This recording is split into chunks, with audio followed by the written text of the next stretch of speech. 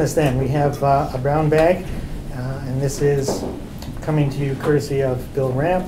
The title is Making Sense of Local Food Systems, Perceptions, Concerns, and Possibilities. Uh, Bill is Associate Professor of Sociology at the University of Lethbridge. His research interests include historical and cultural sociology and social theory. He has a particular interest in the development of a political tradition of commonwealth thinking, especially in agrarian and collectivist or cooperativist circles, and in the moral and civic culture of early 20th century agrarian progressivism in Canada. These interests and his own childhood spent on a farm that any present day Department of Agriculture would define as hopelessly uncompetitive led him to reflect on food issues in connection to issues of land, economic, and political democracy, rural culture and community, and the imperialism of the urban voice. Bill has a number of publications relating to these concerns, including Blood Money, Gambling and the Formation of Civic Morality, Global Investment and Local Politics, The Case of Lethbridge, and Health in Rural Settings, Context for Action. Um, Bill is going to speak for about 40 minutes, and then we'll throw the place open for questions. Bill? Okay.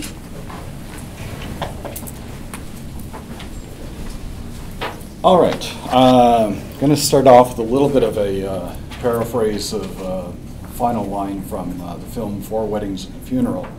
Um, I'm not going to say that there will be dancing, but there will be slides. Not at my presentation today, but I will get them to the Prentice and to anybody who wants them uh, a little later. Those are still in the process of being prepared, as were my speaker notes until approximately eight minutes ago. Um, what I want to do, first of all, is uh, just introduce uh, the people on this project. That's me, uh, Trina Filan, who some of you will remember when, from her uh, couple of years, I think, as a postdoc here. She's now in Montana, and I still rely on her insights for this, uh, this project.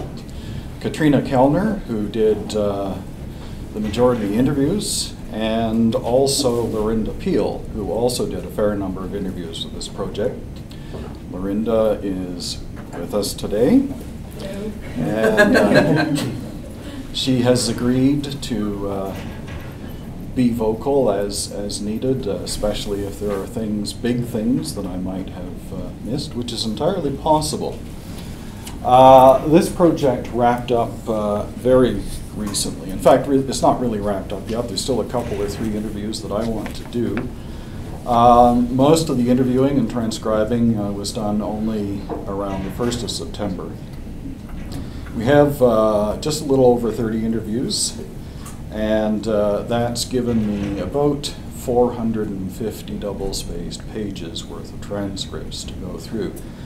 And they are just packed with stuff. Um, so I'm still reading and rereading transcripts and still pulling stuff out. And of course, it is the start of the semester, and last week I did get the flu. However, I think I can keep you entertained for a couple or three hours, and I'll try to keep myself limited to about 45 minutes because what I'd really like to do today is to start a conversation and to hear back from some of the people in the room, which include uh, some of the people that we in fact interviewed. So, just want to say a word or two about definitions and starting points to begin with. Um, and what I want to say is that this project, this tiny little pilot project, nice tidy little pilot project that I got some money from the Prentice for, uh, which has grown like Topsy. Um, it starts from a particular kind of commitment, and that is a commitment to sustainable local food. Uh, so this is not a project which questions whether that concept is viable. Uh, it's, it's a project that starts from the assumption that it is or it can be. Um, it starts from my own commitment and the other and the commitment of the others on the team that it's worth pursuing the development of an integrated local sustainable food system. Now, that leads to a set of questions. How do we define that? Um, I don't want to over-define. Okay, so especially starting off with, uh, with the whole idea of um, local. Basically, local for me means anything that's subnational. Uh, it can be as local as uh, what one of our interviewees called the five kilometer diet, or it could include the whole of Alberta, or even an ecoregion that encompasses parts of two or even three provinces. Um, what do I call sustainable? There's a number of dimensions to sustainability, a lot of which get talked about in the interview. Uh, how to have a, a form of agricultural production that lasts, that is economically viable, where the consequences are known and controlled in terms of social priorities, not just economic ones, and also cultural values. Um, so sustainability can include things like uh, economic viability, but also energy sustainability, environmental sustainability, sustainability of the health of the population that consumes the food and also produces it, uh, sustainable communities and social organizations that are involved in local food. All right, what's a food system? I'm going to work with Tony Winson here, uh, who's written a number of books on what he calls the global industrial food system. And I'm just going to pull out a bit of the way in which he talks about a food system in particular. Uh, so for Winson, uh, a food system is a system that involves integrated activities. So the integration of, let's say, production, distribution, and consumption uh, with historical and future consequences. So the past of the industrial food system, says Winson, has impacted the possibilities available to us today for how we organize food production and consumption. And what we do today, it, again, will have impacts in the future. Uh, now, that system can have a purposeful component, as in the development of policy, for example, uh, but also unintended uh, dimensions as well. So, for example, you can talk about markets as systematically organized, but the way that markets operate is not necessarily as their individual participants would intend, or even the policymakers that regulate markets would intend. Um, systems involve both micro and macro integration. Um, they can be commercial or non-commercial or a mixture of both. Um, they can involve resistance to commercialization and the process of commercialization at the same time. Now, I also uh, Winson also talks about integration. Okay? And there's different kinds of integration. So within a food system, you can talk about integration in terms of ownership, especially if you're talking about what Winston, uh, Winson calls industrial food. Vertical and horizontal integration of corporations, for example. Uh, but you can also talk about institutional integration, functional integration, and cultural integration. The integration also of activities of production, processing, distribution, preparation, and consumption. You can talk about the integration of broad system activities or integration of activities within a kind of a broad sector. You can talk about the integration of economic and political interests, power and resistance. You can also talk about disintegration as well. So, for example, Winson tries to make the case that the increasing global integration of what he calls an industrial food system involves necessarily a kind of disintegration of democratic, socially oriented local food systems. Now, there's different dimensions to food systems. I just want to mention those briefly. Um,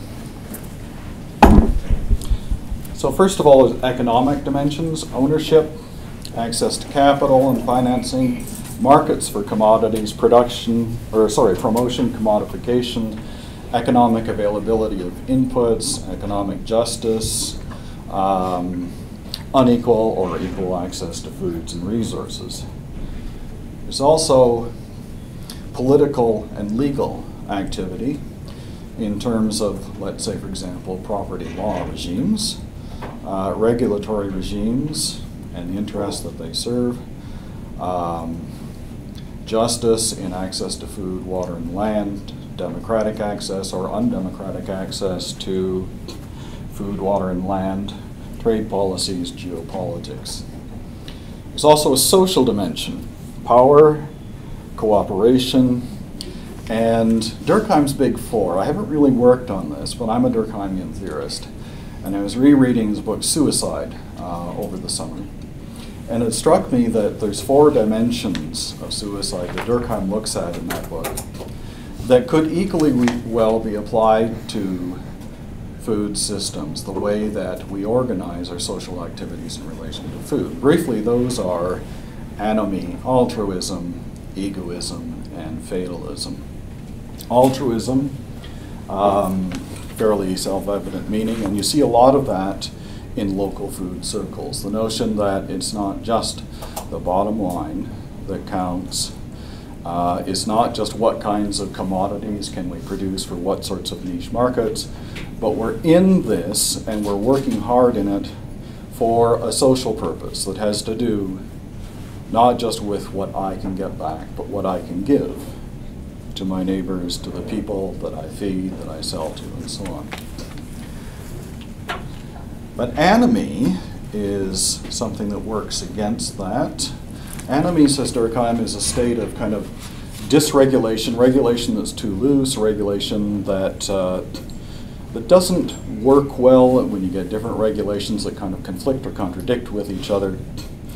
Uh, and I think that in the local food system, a lot of people feel this in the sense that they, they sense themselves to be covered sometimes by different sorts of regulation that don't necessarily mesh with each other, that aren't necessarily uh, tailored to the interests or the needs of small producers, small distributors, or consumers.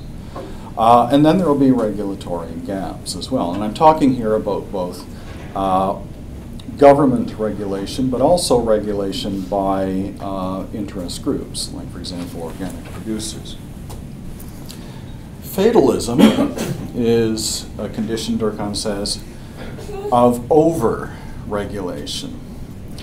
Now, by that, he can mean rules that are too many and too powerful, but also a condition of economic life in which options are few. And I get the sense from some of the producers that I've talked to that that's a feeling sometimes they have. The regulation can often be, even though it's patchy, it can be a burden. Uh, and also, though, that there are economic opportunities that are a bit closed off, especially opportunities to close the gap between what consumers are either willing to pay or can pay and what the producer can accept in order to continue in business. That's a, that's a big one. That is a really big one. Uh, and egoism is, Durkheim says, it's a social condition, not so much of selfishness, but of disintegration, where people tend to live their social lives as if those lives are non social uh, in which ties to other individuals or groups tend to be weak. And Durkheim's argument about that is that it tends to be enervating. You lose energy at that. And you also lose a sense of what's possible, what can be done.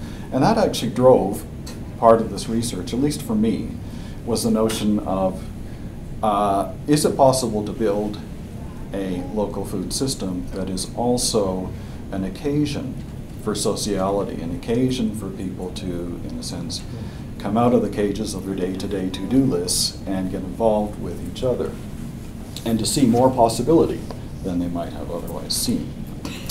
Okay.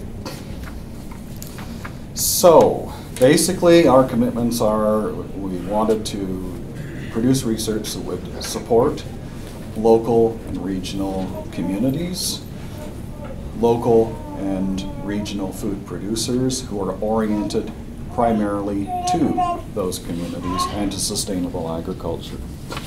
Uh, we want to do research that promotes the democratization of local economies, local governments, local institutions, and local knowledges.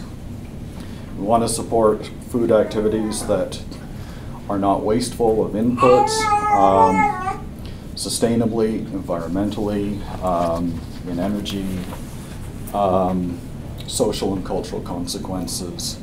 Um, an agriculture that is consciously considered, not just in terms of bottom line, but in terms of how we live with each other. Okay. Um,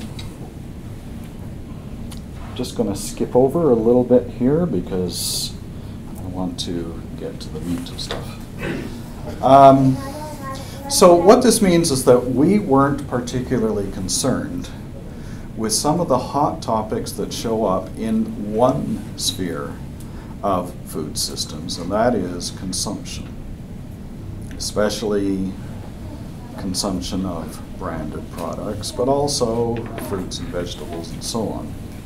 We weren't particularly concerned with philosophies of consumption that generate a lot of heat today, like the rightness of eating organic food. What gets defined as organic food, the rightness of eating vegetarian or vegan as opposed to including meat in your diet, animal rights, um, and also issues of harm that relate specifically to agricultural chemicals or GMOs. Those are the things that tend to get the press. Those are the things that uh, uh, light up and flame out social media. And they were not our primary concern. Okay. Our primary concern is more with how people orient themselves locally in their production, their distribution, and their consumption. And how that local orientation is social. Okay, so it's the social dimension that we were really uh, quite interested in. And uh, it's interesting when I went into this I thought, well, that's an awful bias to carry in. Like you're not interested in things like GMOs and so on that other people are passionately interested in. Um, and I actually found, looking through the transcripts, that yes, there were particular individuals very concerned with one or more of those issues. Agricultural chemicals are a concern of uh, a number of uh, producers. But uh, a lot of them had the same kind of orientation as I had going in. This is not a factor of leading questions. I did take care with that.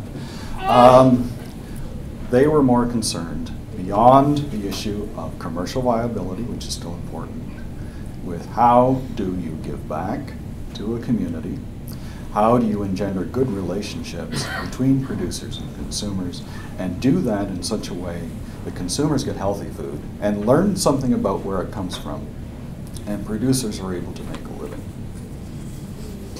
Okay, so what we did was qualitative interviews. Um, I came up with and tested and formulated and reformulated and rethought a bunch of questions. Um, the reason for the qualitative interviews is because it allows a more lengthy process in which uh, people that we interview can test or resist the questions, explain themselves more, uh, give alternative accounts, tell us what we're missing, and things that we should be looking into, suggest to us who we should really be talking to, and so on. And that um, went fairly well, with a couple drawbacks I'll mention in just a minute.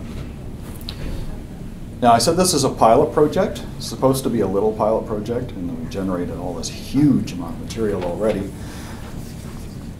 Where I want it to go, if I can get funding and the good people to continue to help me stay organized and on task, is a comprehensive map. Now, food mapping is all the rage these days. Uh, my partner in crime on this, Trina Filan, uh, was in charge of a food mapping exercise in Lethbridge, looking at, for example, where are food deserts in Lethbridge? In other words, what are the areas of the city where if you don't have a car, for example, your access to stores that sell good, healthy food, especially fruits and vegetables, is limited, especially stores that sell them at reasonable prices. So if you can't get to Save-On, for example, and what's local for you is a Mac's or 7-Eleven, you could be living in a food desert. But what I thought would be interesting is to do another kind of map of people who are actively involved in local food systems, not just as consumers, but as producers, distributors, members of social agencies, and educators. And look for what are the strengths and the weaknesses and the opportunities and the challenges that they see about what they do, both as individuals and individual organizations, but also in relation to each other and to other groups. So, how many producers, for example, know and are actively involved with or co cooperating in some way with other producers. How many producers have active and ongoing and rich ties with consumers? And how many of them, on the other hand, work at one remove from consumers because they sell through distributors? Um, and actually got something interesting to say about that. Um, and what we also wanted to do was to look at where the gaps are. What do people not know? What do they think they want to know? What kind of education do they need? What kinds of wishes do they have uh, in terms of knowing who else is involved in their sector of a local food system? What do they think would be needed to complete an integrated local food system? So, in other words, this is not really a study of an actually existing local food system, because I don't think we really have one yet. What we have is a lot of people involved in local food, a surprising number of whom know other people very well, but some people involved in the system, not at all, and who wonder how many other people are out there. Or when newcomers come in and get involved in production and distribution, for example, how do you get to find out who those people are? How do you get to find out where the, the community groups are and the social agencies that are getting involved in food, and what specific programs are they involved with. And those concerns came up a lot during the interviews. Okay, so a lot of people do know each other, but there is a strong sense that the knowing is not systematic enough. It needs to be more. Okay. So what did we find out? Um, first of all, let me just talk about what we found out about what we were trying to do. People had trouble with our terminology, or maybe I should say with my terminology. Uh, I am more of a theorist than a researcher, and so every time I get involved again with on the ground research like this. I, I, I, do a lot of research, but it tends to be in archives. And so when I get involved on the ground with, uh, with local people, there has to be a process, first of all, of translation, then a realization that the terminology I'm quite familiar with is for other people just, it, it's, they get the same feeling with me sometimes as I get when I drop down to IT with the laptop for this and they tell me exactly what I need to do, and I go, what? Uh, so, for example, the term food system itself. Uh, people struggled, first of all, with, well, what are you asking me to do with that term? Like we asked them, how would you define food system? Well, I haven't really thought about that. Um, give me a minute. I mean, do you mean how I'm a food system, like what I do personally? Do you mean how I relate to other people? And of course, you want to be a little bit hands off, so you don't want to say, oh, okay, pick that one and answer it. Um, so there's a little bit of a struggle before people start getting into uh, what they think a food system might be, and then what it could possibly look like. They also had trouble, we asked about regulatory regimes and regulatory environments, and uh, a number of people, they might know about specific regulations that relate to the stuff that they do.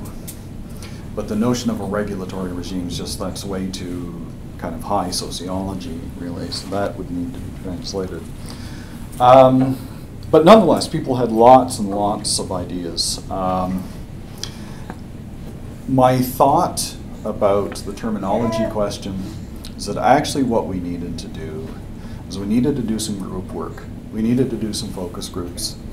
Uh, or more specifically, uh, moderated free chat groups with people preferably face to face. Perhaps we could do that mediated online.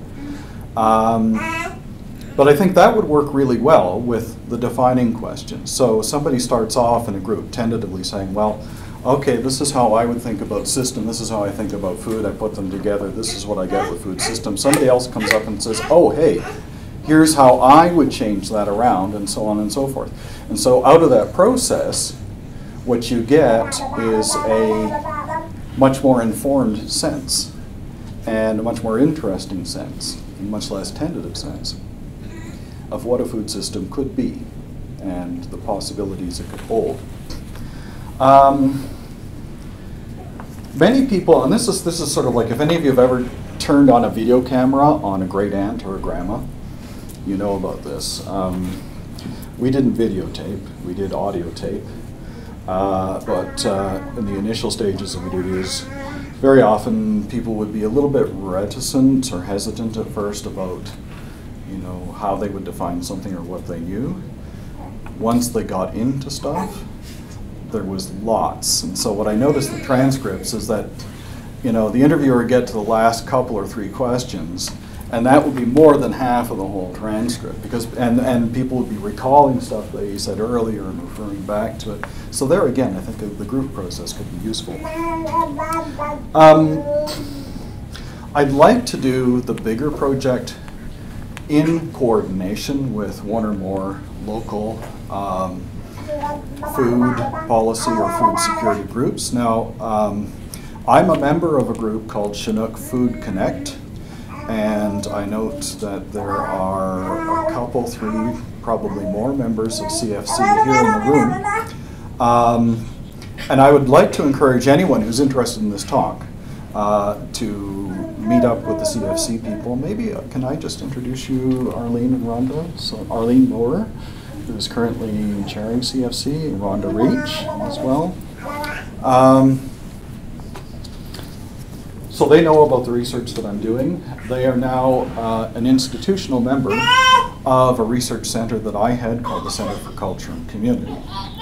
Um, and so what I'd like to do is to have this project now become less the brainchild of an individual academic and more a kind of coordinated work by organized people in groups who have things that they want to do.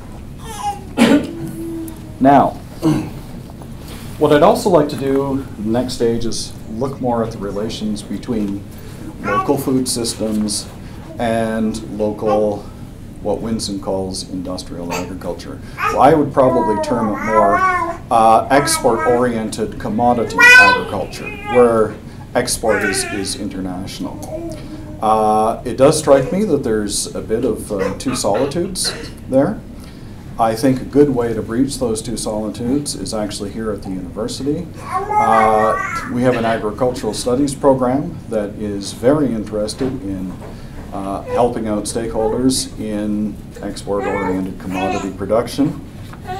But many people in that program and in the university at large also have their own interests, personal or professional, in uh, local production and consumption as well. So I think there's room for some dialogue there and perhaps also some interviews with some of the key folks in that other sector of agriculture. Um, I would like to do more interviews with agricultural researchers. We have one, and, uh, and that interview is absolutely fascinating. I'd love to talk to more people at the research centers, also retired people from the research centers as well. I'd also like to talk to more non-commercial producers. Uh, we, uh, we did emphasize getting the producer voice. We have a lot of commercial producers we talk to, but I'd like to find some way of talking to people who are engaged in production of food that's not commodified. Now, for example, that can mean uh, uh, an urban tree program. Uh, there is talk about that in the city. I, I think there's action toward it as well. Um, so people involved in municipal initiatives to make food freely available uh, in, in, public spaces. Uh, people involved in community gardens, but also individuals who are involved in their own urban gardens, balcony gardens, container gardens, and indoor gardens, and who have an interest in talking about and publicizing and getting together with others to make sense of what they're doing. I'd also like to hear more about uh, more from uh, educators involved in the production end of locally oriented agriculture. And I'm also thinking about how would I research and interview people on the topic of food preparation if we hive that off as an activity distinct from food processing. In other words, how people actually cook their food. And what I'm, what I'm thinking about here is not just how people do that individually in their homes for themselves, but how they do that in their homes for others. So, for example, uh, one of the things that kept me going in my recent bout of flu was the quiet provision every morning in my mailbox for a couple, three days of uh, extremely uh, fibrous, uh, brilliantly colored, and incredibly nutritious smoothies. Right? Uh, but there's also the possibility of looking at uh, more institutionally cooperative forms of food preparation, as in community kitchens. And of course, there is community kitchen in operation with one of the food banks, uh, the Interfaith Food Bank in Lethbridge already. Okay, so what did we find in terms of substance? Oh boy. Uh, okay. Uh, so I'm going to skip over the people that we interviewed, except to say that we got a lot of people, as I said, in the, the producer uh, category, Fork in the Road, Broxburn, Noble Gardens, Synergy Permaculture, New Oxley Ranch, Lethbridge Center for Agri Aquaculture, distributors, Galimax, uh, Trading Cottonwood Co-op, social and educational agencies, so both the food banks, the soup kitchen, people involved in the provision of school programs, and people now in social services who are integrating food work into the provision of social services um, as a way of increasing people's autonomy and their resilience, giving them the skills to be able to judge good food, to be able to cook food in good ways, to share knowledge amongst each other. So we're not just talking about educational outreach from experts to people in the community, but how vulnerable people in the community can get, can get involved in mutual aid to each other, sharing skills, sharing recipes, sharing ideas, sharing support. Uh, policy groups, Growing Food Security in Alberta, Chinook Food Connect, and uh, people we interviewed who were involved with Environment Lethbridge and Vibrant Lethbridge. Key individuals, activists and experts. One I want to mention in particular, very low key, uh, known for her blog with uh, beautiful photographs of flowers, very interested in horticulture, but also in the food aspect of horticulture, and that's June Flanagan. I'm sure that many people in the room will know June.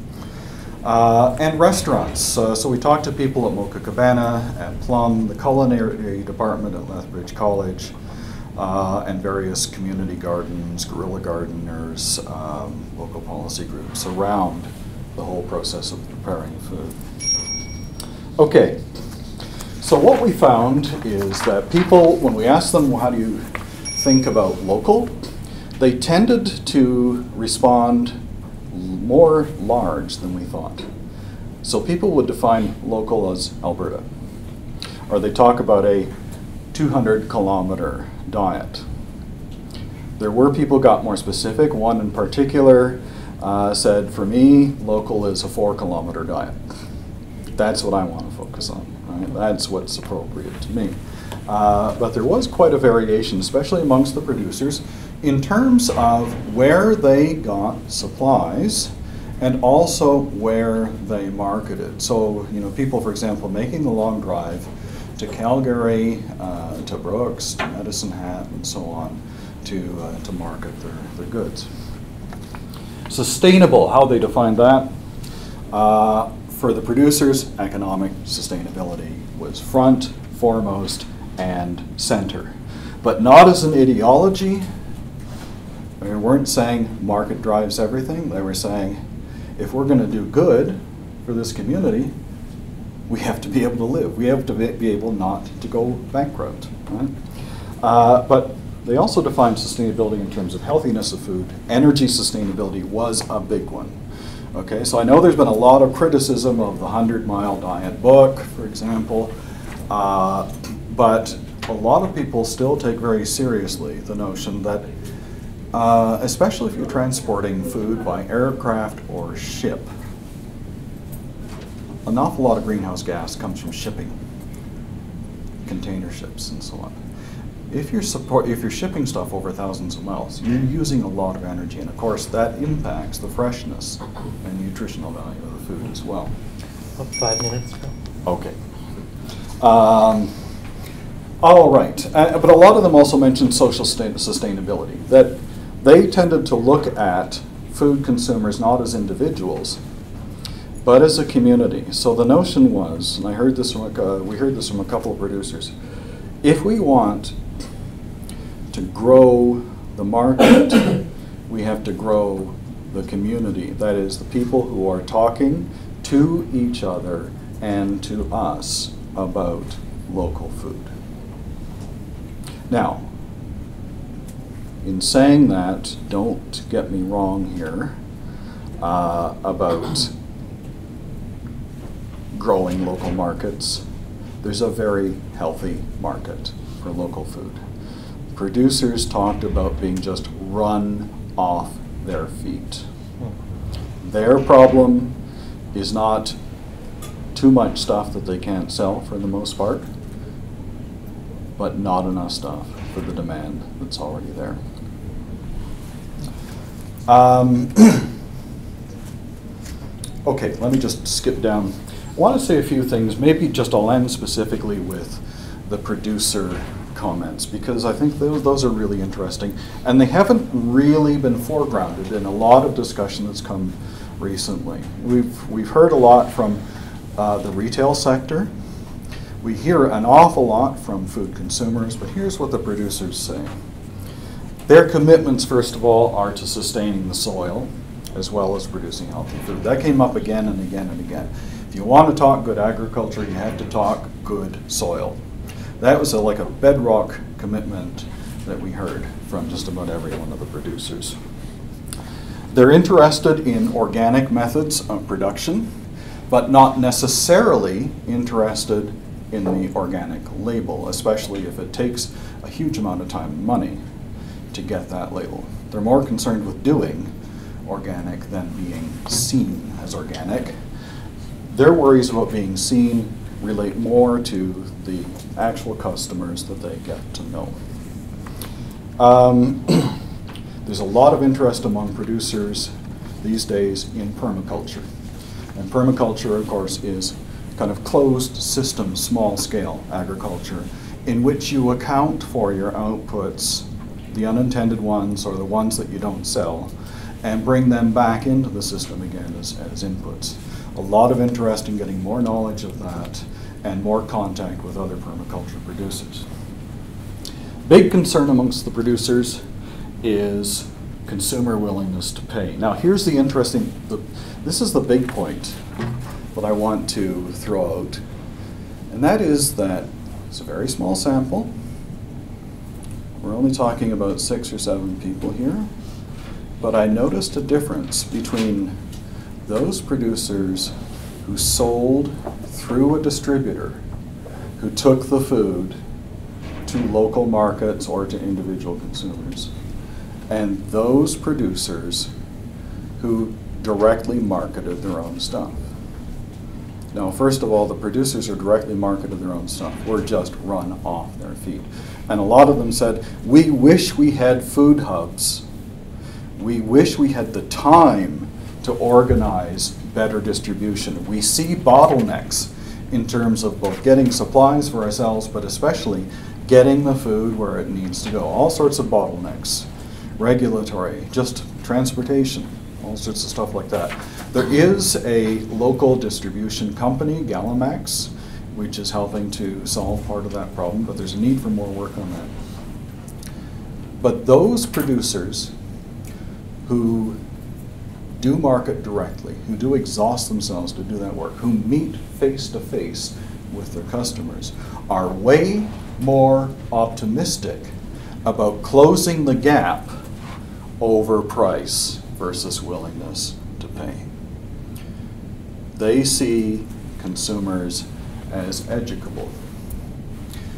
It's the ones who are distanced by one step from consumers who tend to be more pessimistic and say things that I've also heard from industrial agricultural producers. I heard this all the time from my dad, from my dad's friends, uh, from commodity producers that I still know.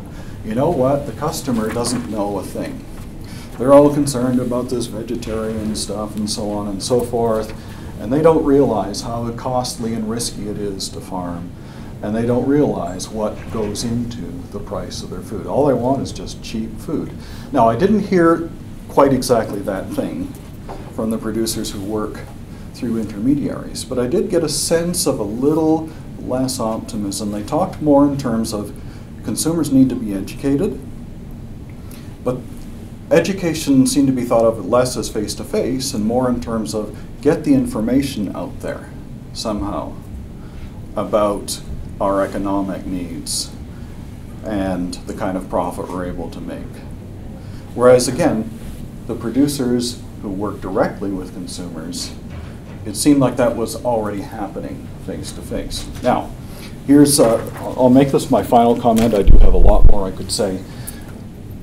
Even if producers and consumers do meet face to face, and as I say, that takes time and energy.